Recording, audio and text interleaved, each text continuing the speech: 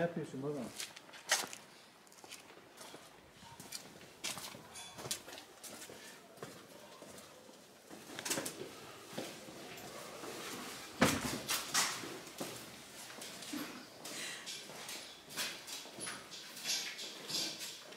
Baba, nasılsın?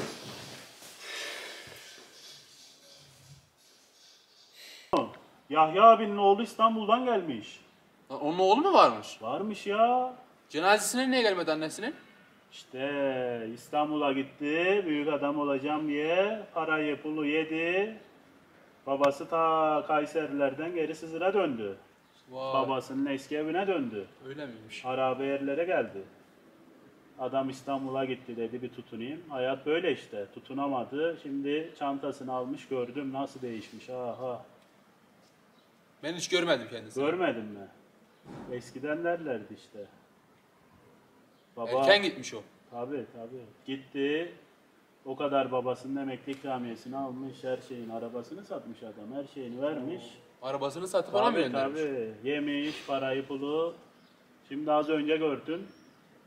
Şey bitirmiş, parayı gelmiş. Geri para isteyecek herhalde. Marketin önünden artık niye geldi yıllar sonra Sızır'a tekrar babasının evine hangi yüzle geldi? Lan annen ölmüş annenin cenazesine gelmiyorsun. Her şeyi yiyorsun sonra Sızır'a. Ayıp ya. Kaç yaşında adamsın? Kaç Ayıp. yaşında? Neyse. Allah yardım etsin diyelim. Anasına baba. Bak bunca yıl aramızda sorunlar oldu. Artık bu sorunları bitirelim. Tamam annemin ceza, cenazesine gelmedim ama o kadar da olmaz ya. Bu küslük ne ya? En azından bugün annemizin cenazesine gidelim. Konuşmayacak mısın? Baba kaç yıl oldu ya? Konuşmayacak mısın benimle? Ben emekli oldum, emekli paranı saldım, yedin bitirdin. Konuda komşuya borç para aldım, sana gönderdim, yedin bitirdin. Beni rezil ettin, kebar ettin beni. Ya baba elimden gelen bir şey yok. İşler ters gitti. Ben ne yapabilirim ki?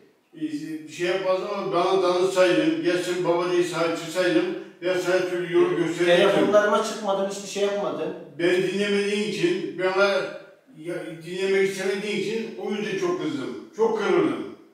E telefonlarıma çıkmıyorsun ya. Ben ne yapabilirim şimdi baba ya? Allah Allah. Baba hala mı konuşmayacaksın? Senin annenin olduğu, benim 30 yıllık eşim, senin de 30 yıllık annem. Cenazesine gelmedim. Ben ne diye konuşuyorum? Telefon açtım, açmadım. Ya işlerim vardı. Ben de seni arıyorum, sen de çıkmıyorsun ya. Annenden önemli iş, ne iş olabilir? Tamam ben de seni telefon arıyorum.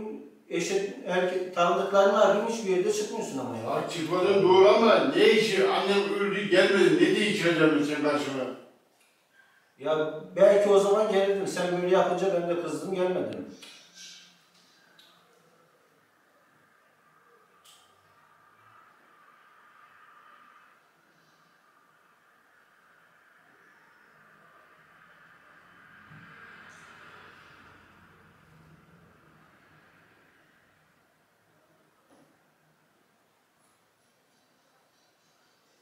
Haydi baba bir şeyler söylesene.